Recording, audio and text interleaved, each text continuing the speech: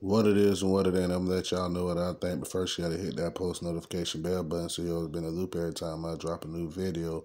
This your boy Goldmouth Shorty. Let me get straight down to business.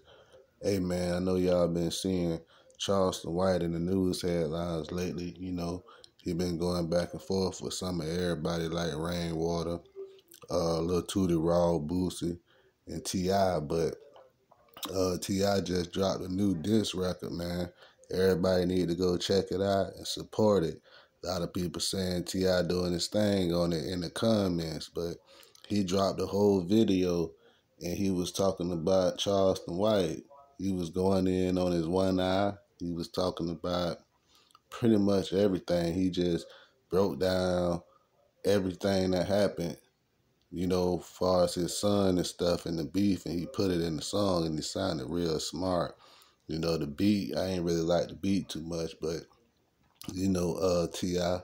popping. He was like, he the king of the South. Don't call him the king of Atlanta.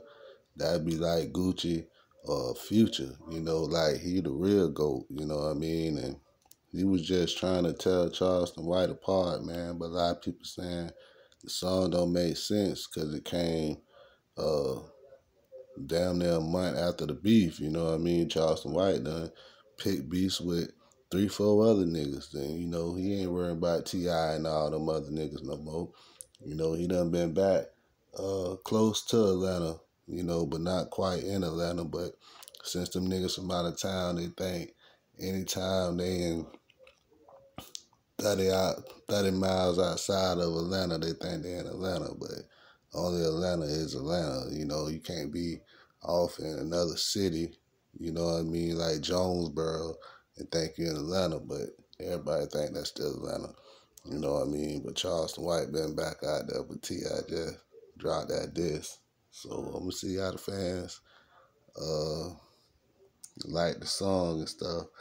You know what I mean? Cause you know people start playing this shit, T.I. back popping. You know what I mean? I know Charleston White gonna have something to say about it.